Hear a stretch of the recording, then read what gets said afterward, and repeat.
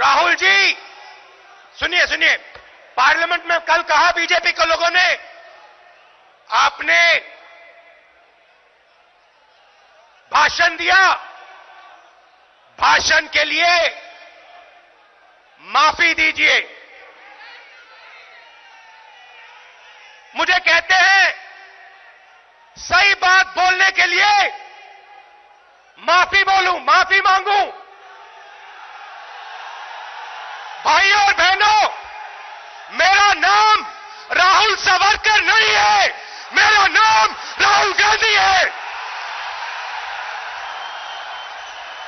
मैं सच्चाई के लिए कभी माफ़ी नहीं मांगूँगा। मर जाऊँगा, मगर माफ़ी नहीं मांगूँगा। और ना कोई कांग्रेस वाला माफ़ी मांगेगा।